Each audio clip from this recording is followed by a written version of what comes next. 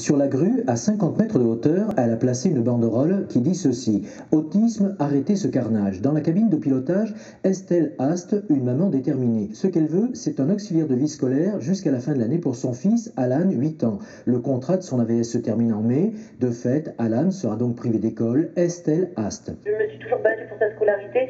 Alan avait passé une bonne année de CP il est rentré dans la lecture, dans, le calcul, il est, il, s'est beaucoup sociabilisé avec, euh, avec, ses petits copains. Et voilà, déjà il est scolarisé à mi-temps parce que bah, il est pris en charge dans une structure par rapport à son handicap. Et voilà, aujourd'hui, bah, clairement, on, le jette de l'école, quoi. Ce combat concerne, dit-elle, en fait tous les parents d'enfants autistes, car tous ont besoin d'auxiliaires de vie scolaire pour fréquenter l'école. Mais les AVS sont interchangeables, précaires, sans formation spécifique. Estelle réclame donc que, l'autisme ne soit plus traité par-dessus la jambe. Moi, je veux qu'il ait une AVS formée, diplômée, compétente et qui soit embauchée soit en CDI, soit en CDD. Et là, forcément, ça leur pose un problème puisque aujourd'hui, avec la loi, c'est totalement impossible. Donc je pense que je ne suis pas prête de descendre de cette grue en fait. Plusieurs élus municipaux sont venus convaincre cette maman de descendre de cette grue, mais le problème relève du rectorat. Toulouse, Frédéric Bourgade, France Info.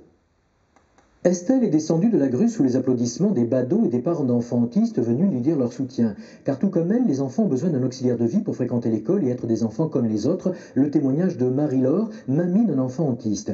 Ça veut dire que c'est une bataille pour les parents d'obtenir les droits pour cet enfant. Le droit à l'école, le droit à avoir une place de parking privée, au privé, euh, privilégié d'handicapés, le droit d'aller dans un cinéma, même si elle crie, le droit d'aller à la bibliothèque, le droit de vivre. Ils sont comme les autres.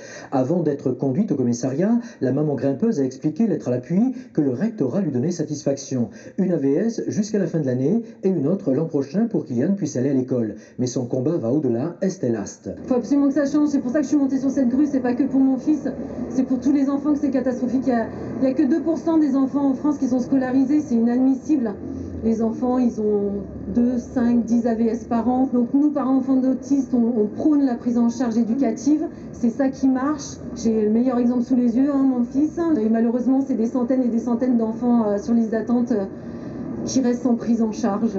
Prise en charge éducative et non pas psychiatrique, a tenu à préciser la maman grimpeuse. Toulouse, Frédéric Bourgat, France Info.